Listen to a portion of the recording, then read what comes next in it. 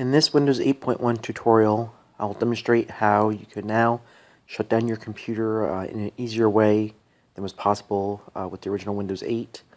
Uh, it actually has to do with the start button they added.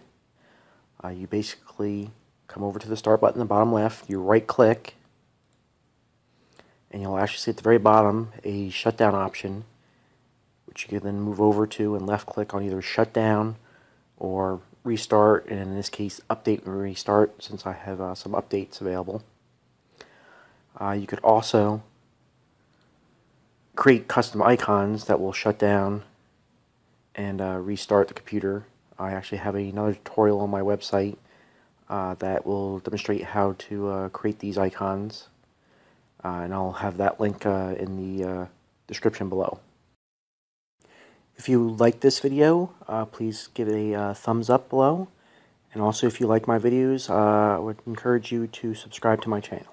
Thank you.